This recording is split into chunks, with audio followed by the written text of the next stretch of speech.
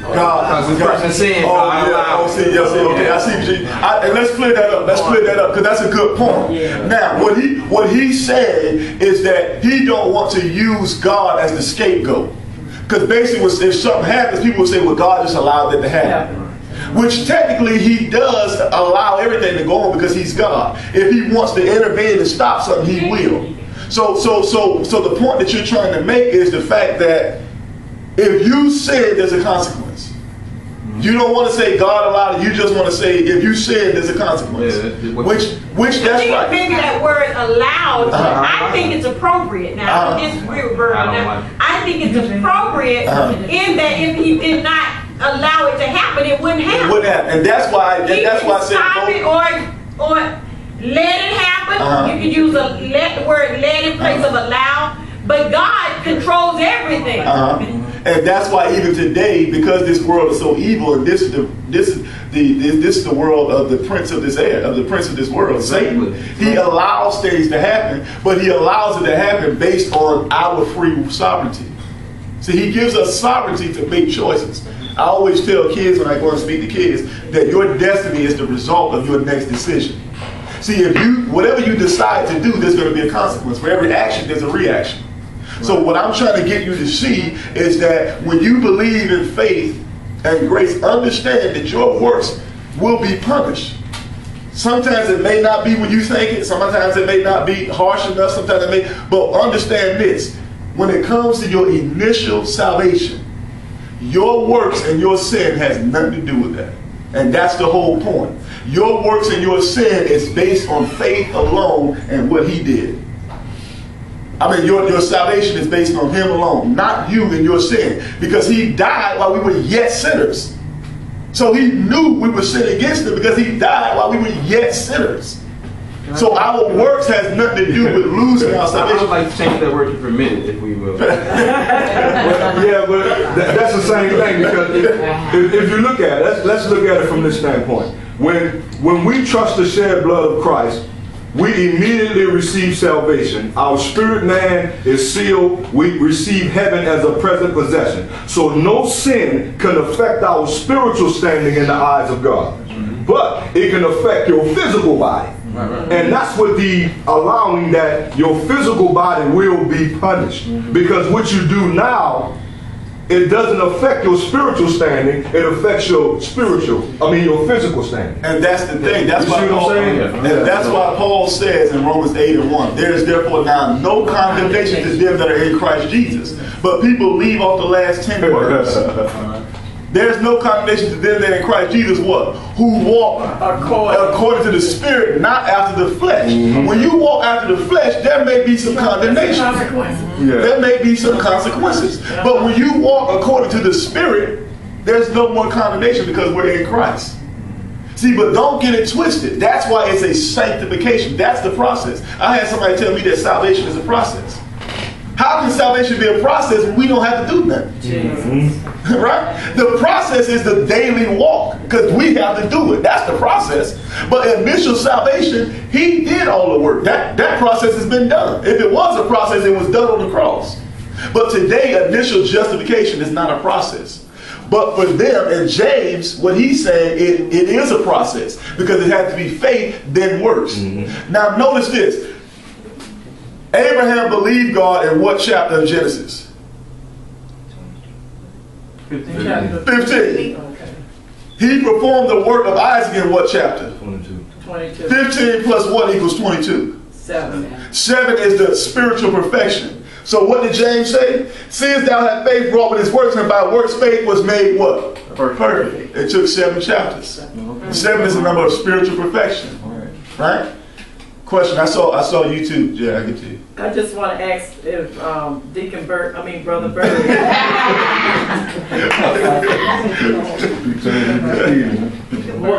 do you think that God allowed good things in our life to happen? What I think is, I know that God has things reserved to release both good and bad if He will. But I think He chooses to stay out of matters because of our free will.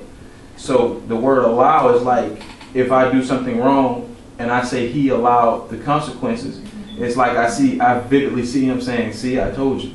You know what I mean? And I don't. The word allow that's it has strength. And then if you do something wrong and something happens to somebody bad in your family, I don't want people under false pretense saying, "See, God allowed that." So the word allow can be so dangerous in that regard.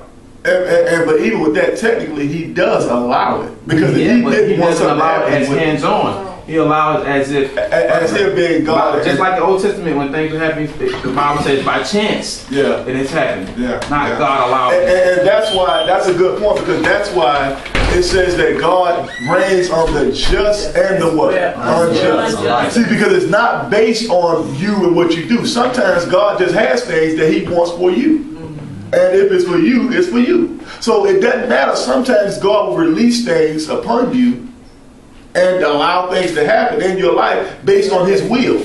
He'll intervene in your life based on faith Mm-hmm. according to his will. That's why when you pray, you have that's why when it says pray in the spirit, I had somebody tell me that means pray in tongues. Mm-hmm. no, what that what that means praying in the spirit is means the spirit is making intercessions with groaning that cannot be uttered because we don't know what to pray for. So when you pray in the spirit, you're praying in God's will. That's what that means. So when you pray in God's will by faith, God then will come down and intervene in your situation. He will do that. Mm-hmm.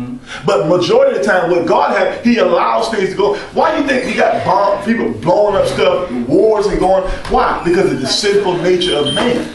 You got people murdering God's, children. is that God's on, God's hands on? No, no, no, no, no, no. That's what I'm saying. He's a okay. I see. Yeah, that's why he's That's allowing what, that's what they taking it to. Yeah, yeah. He, allowing it generally, but it's not his hands on. Like I didn't allow this kid. Exactly, exactly. Okay, that's what the misconception is going to be in that word. Okay, yeah, yeah. Because he allowed, ultimately, he allowed Satan to be the prince and power of the air. So therefore, that's deemed to him. That's there to him, and that's why the, the wickedness that goes on in this world is of Satan and not of God. So I want you to see that it's say about. Satan did it instead of saying God allowed it? And, and then even that, I don't even want people to think that Satan do everything. Because when I ran that red light, that wasn't Satan, that was me. You see what I'm saying? So, so and, and- and you see that even the same way. Don't think that the devil does everything. Because when you ran that red light, that was just me. That's right. I mean, Satan was talking to me. I just, I had to be somewhere, so I ran this light. You know what I'm saying? So, It so would be safe to say God allowed that. And th- that, okay, I- and I see what you're saying there, and I see uh, that. Zimmerman said though. and, and the thing, and the thing about it is that, and what we get to, to, to bring this back to the scriptures, because it always goes back to what saith the scripture. Initial justification is by faith alone. But what James is saying is that initial justification has to be by faith plus works. So that's how you know the book of James is not talking to you today. Faith by faith without works is what? Dead. We used to I used to preach that. We used to always love that scripture. sure? Right? But what but and most preachers will say, well what that's saying is that if you have faith, you'll work. No, no, no, but but but but how does our work come? When I preach that message, the work of faith, how does our work come? As God performs it what? In us. There's a difference. Well, my whole question is, if he had died for our sins, knowing that he, that we were going to commit sins, Uh-huh. being the, the reason that he died for us, Uh-huh. why would he even allow punishment to come in the beginning? Because he has to punish sin. And, that, and that's why I said he punishes sin eternally already. That's why you don't have to worry about whether you're going to receive eternal life. So that means that we're putting a title on sin, making sin in, in its own separate column, As far as what? as if how you just said that he has to punish sin. He has to punish. That's what. When God initially punished sin for every man, He put everything that that you would ever do on Christ. But because you live every day in a sinful flesh mm-hmm. and you make sinful decisions, the cause and effect of that just is gonna, just going to happen. Mm-hmm. You see what I mean? Because you make if you walk out in front of a bus, you're gonna get hit. That's just a cause and effect. God allowed that. You, you, you see, you see, see, see, and he's using the word, and that word allowed as he's thinking about it. I think we're looking at it from two different perspectives. Yeah. Because God is God. If he wanted to call this world up, he That's would right. do that. Stop the bus. And so he could, and really he could stop the bus if he wanted to. See, but and so when we say allow, we're using it on that pretense. But I understand what you're saying that somebody else will use it and say God allowed evil. You see, but God can't be associated with evil. You see what I mean? So, so to answer that question, that's what happens. That's why the sanctification is the process. Because we may not always do everything right according to God's righteousness in our daily walk. But that does not keep us from receiving eternal life. See, that's the issue. The justification of eternal life is the issue. I think what I'm just feeling is I, I, I don't feel like punish, punishment should come against us if you already died for our sins and knew that there is no perfect man on earth. I, I see it. I see it. And, and, and what happens is you're thinking that basically how can you punish us twice? Double jeopardy. Double jeopardy. That's what you're looking at. But but it's not double jeopardy because this was for eternal life. You received that. There's nothing that can take that away. Your sin does not take eternal life away because then that makes what he did of none effect. See, but now when you walk according to the flesh, you're going to reap of the flesh. When you walk according to the spirit, Galatians 6, you'll reap of the spirit. So the more you uh, walk according to the spirit, the more you'll reap the things of God. The more you dive in the word rightly divided, the more it's profitable to you. If I say I have faith in Jesus Christ and don't read my word and don't do anything according to God's righteousness, will I still go to heaven? Yeah. Yeah. You sure? Say it again. You said if you have Say what you. If, if I believe in Jesus Christ and I don't pick up my Bible at all, Go ahead. Go You ahead. see salvation What do you believe about it? Keep talking here, bro. What you gonna keep talking? You can't just stop talking. huh? That's a different level. You are you are. That's a good point. That's a good point. And this, and this, this is the reason that this is the reason that I said that because most religions or religious people will tell you you got to do something other than believe, and really you don't. All you have to do is believe. Amen. Um, just to add on what she said, uh, it's not so much, it's, it's a process. And when you, it's not so much of the double jeopardy, mm-hmm. but we have choices now. Mm-hmm. And it's not so much that you're being punished for your sin, but just like, uh, spare the rod, spoil the child. If you never correct them in the behavior that are wrong, that is wrong, they'll never be able to identify which is right and which is wrong. So it's not so much that he's punishing you for doing sin, he's getting you kind of wake up call. And uh-huh. like he said, the more you indulge in the Bible, the more you grow in him and your decisions are going to shift from doing those things that are wrong rather than the things that are right. And also when you're saying um, that God allowed it, he does allow it. He has that power because he's the same God that can stop time. So it does, it is a time of God allowing. It kind of piggybacks on what she said. He allows it for we can, so that we can understand like that red light situation. We know better because I had road rage really, really bad. and now I realize that there's a purpose behind the delay. So instead of me saying, oh, they need to get out of my way, I'd be like, you know what, God?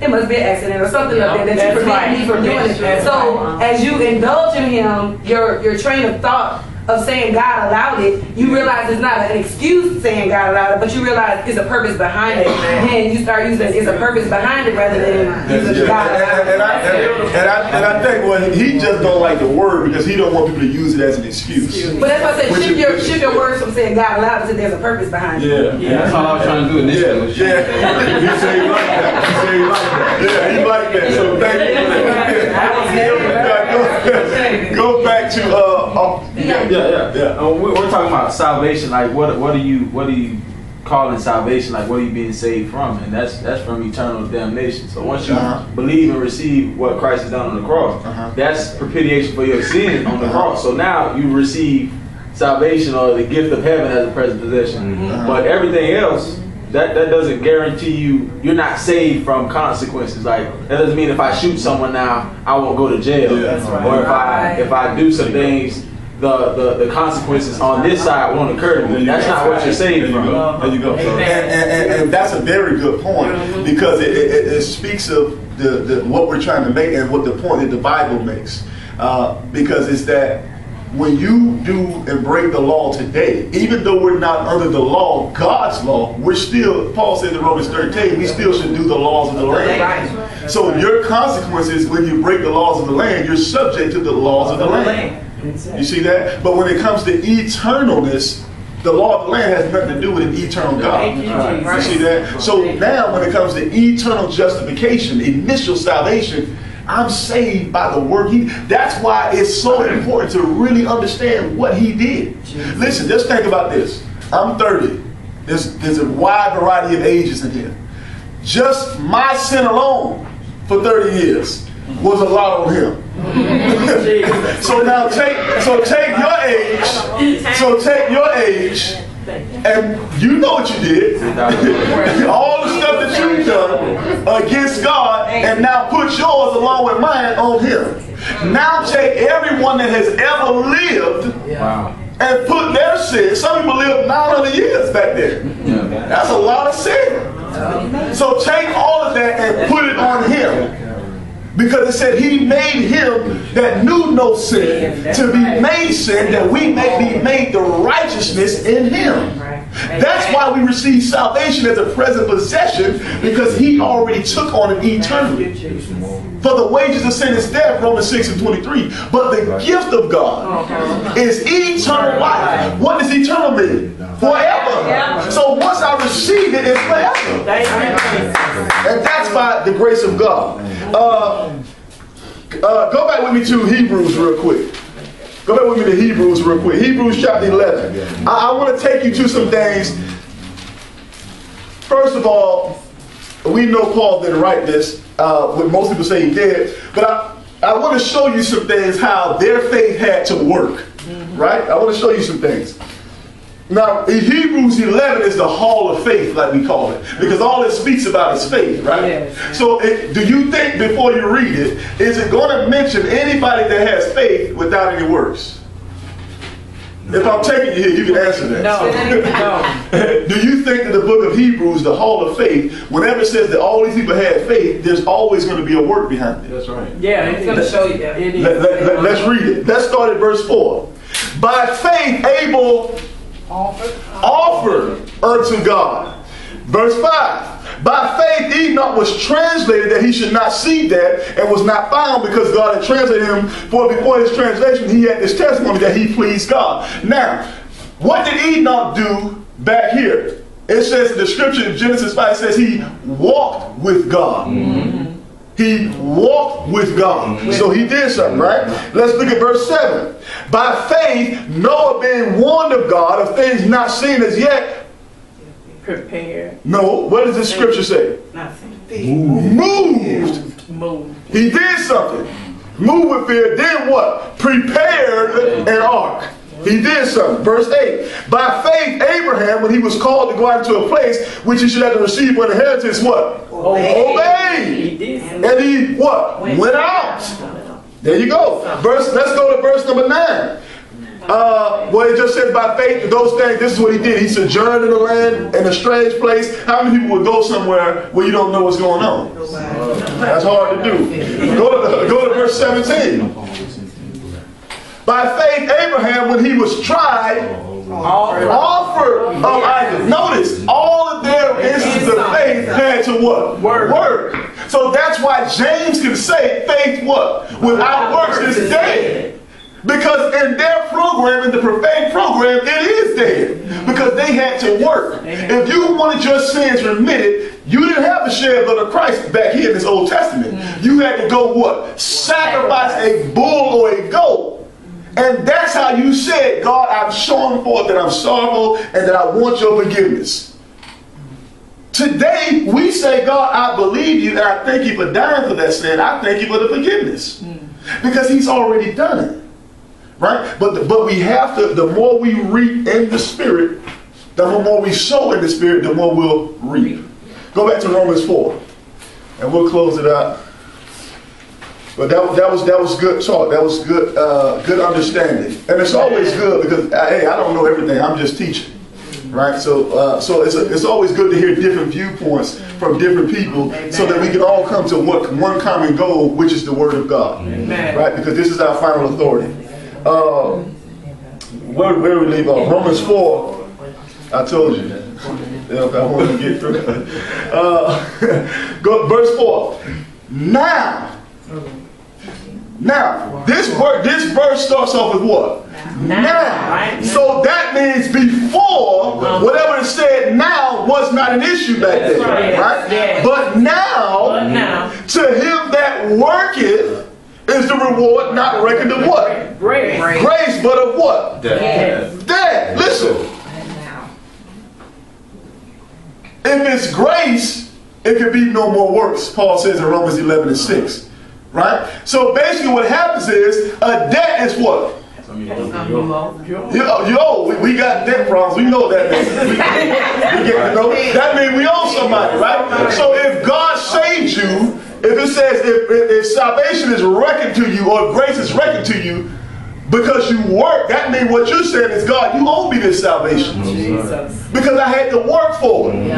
Right? That's why it says the wages of sin.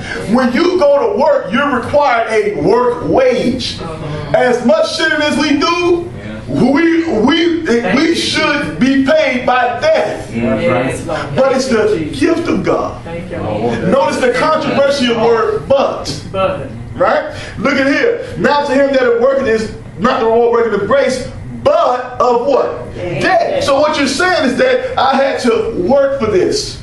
Uh, uh, Peter says in Acts 10 and 35, uh, he that feareth God and worketh righteousness. Right? He that feareth God and worketh righteousness is what? Accepted by God. So what he's saying is that he has to what? ETH at the end of that word. Continually. continually. Worketh righteousness. How do you work righteousness?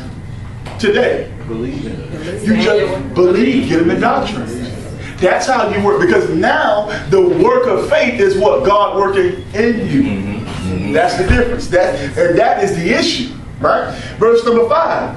But see, it's not of debt, but to him that worketh not. Mm-hmm. So that means to continually not work, right? But what? Believe it on him that justified the ungodly, his faith is counted for what? Righteousness. Did James say that? No. No. James didn't say that. The opposite.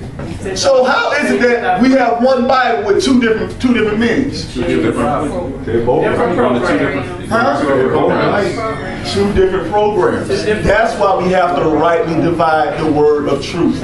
Because all of matter of fact, Paul says he has the word of truth, and James in James chapter 2 says that I have the word of truth.